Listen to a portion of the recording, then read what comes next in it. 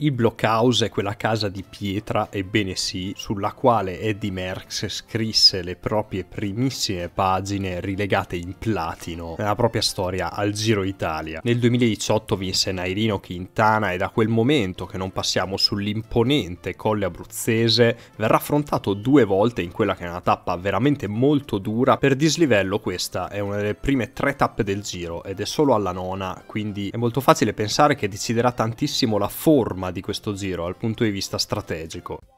Dopo la tappa di Potenza è il momento di un altro tappone appenninico in piena regola, che stavolta presenta le salite più impegnative, ovvero la doppia ascesa al blockhouse nel finale di corsa.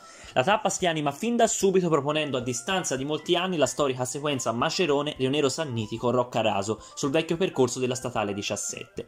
Andando nel dettaglio, il valico del Macerone sono 3 km al 5,4%, il Rionero Sannitico, la più impegnativa delle tre, sono 9 km al 6,8% di media ma con molti tratti in doppia cifra, mentre a Roccaraso si arriva con 7 km al 6,4%. A questo punto inizia un lungo tratto di avvicinamento al gran finale, fatto comunque di discese insidiose e salite più o meno marcate. Emerge tra le altre quella che porta Guardia Grele, senza passare dal muro, di circa 4 km al 5%.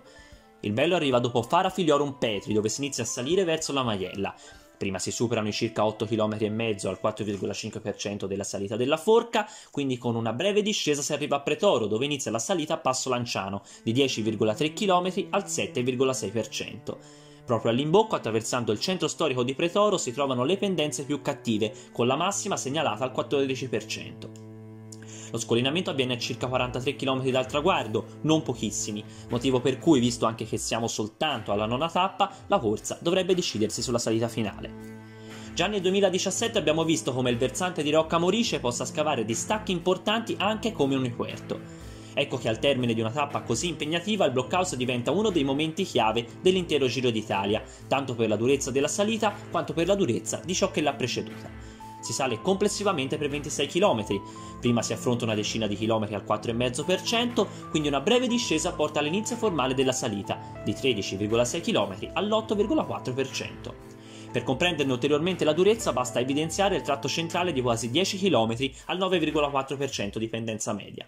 Al traguardo si saranno accumulati circa 4.700 metri di dislivello.